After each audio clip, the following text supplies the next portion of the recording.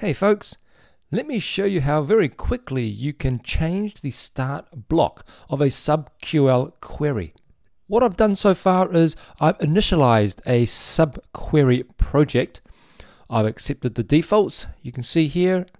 I've then gone into the block height directory and I've run yarn to download all the dependencies first of all. Then I've gone ahead and run yarn codegen and then I've built the project. So next, I'm going to spin this up in Docker first of all. I'll pull the image first, and then I'll go ahead and run Docker.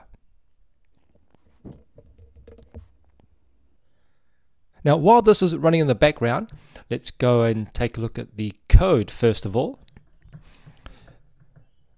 You can see here in the block height project. In my project YAML file, you'll see that I've got a start block equal to 1. And when the project starts running, you'll see that I'll start indexing the block from 1. There you go, it's fetching block 1 to 100 in batches of 100 so what we want to do is actually, let's stop this by hitting Control C. We want to change this to say a million. Let's save that. Now, how do I know to use a million? I mean, it could be 10 million, for example. The best way to know is to go to Polkascan.io and you'll see here the actual block height of mainnet and it's under the finalized block. So I know that I can go up to at least 5.8 million blocks. But what I'll do is let's just go to 1 million for now. And then if I go ahead and rerun, so let's go docker compose up.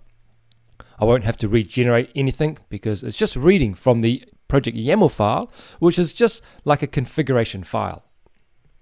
Now what you should notice is that this won't work. You, you should get an error. There you go. It's trying to fetch this block range and it shows an error that it didn't find any data source to match. Now the reason why we're getting an error is because we've already started synchronizing at a specific block number and changing it halfway through doesn't work. To get around this error, what we actually need to do is let's stop this, Control C again, Let's then go into our data directory. So this is a hidden file, and this folder, we actually need to delete it. This is where all the block information is actually stored on your local hard drive. So now that I've deleted that, let's go ahead and rerun the Docker container.